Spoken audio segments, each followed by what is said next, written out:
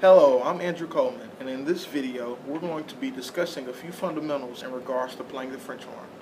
The first fundamental we'll deal with is posture. Now, when we think of posture, I want you to think of standing tall from your waist up. So that means straightening, straightening out your spine. And as far as your legs, you should think of your legs as being slightly above your waist. I'll repeat that again. You should sit like you're standing tall from the waist up, and your knees, your legs should be slightly above your waist. All right, now let's pick up the French horn.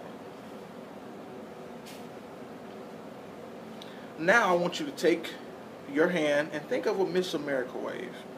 Okay? This is actually how we stick our hand in the bell. Now I want you to think of the inside of this bell as a clock. Your hand should be placed between the 1 and the 3 o'clock mark, okay? Just like that. And you can take your thumb and you can rest it on this upper side of the bell. Alright? Now once you've done that, pinky goes here. Your index, your middle, and your ring finger go on the three valves. Your thumb should be on this B flat trigger. You should place the bell on your leg,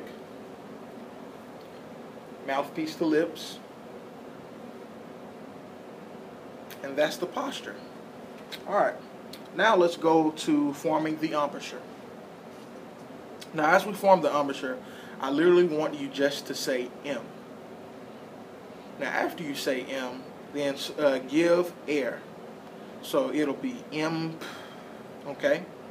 Now think of it as a steady stream laser. M. Now what you're doing, you're firming the corners of your cheek and you're slightly opening the aperture, which is the part in between your lips where your mouth opens. That should be open slightly. Think of puckered lips. Okay? Now, let's go to buzzing.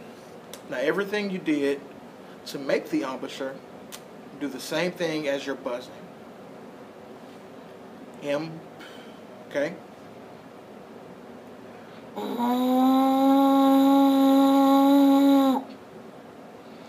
M.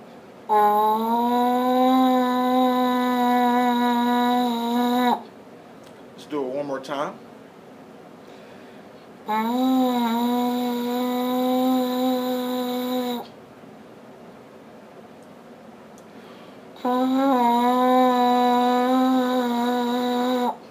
Okay. All right, now we're going to go into producing our first sound. First, you should take your mouthpiece and stick it in the main slide. Stick it in and counter uh, turn it. All right. Now, producing a note, let's think of our posture, sitting, standing up tall, so we can take a nice breath to play. Let's think of our embouchure, M. Corners of our mouth should be firm. Our aperture should be slight. Think of your lips as being slightly puckered, like that. Okay? All right. Now let's raise the instrument up. Same steps. M. Okay? We'll get into articulation later.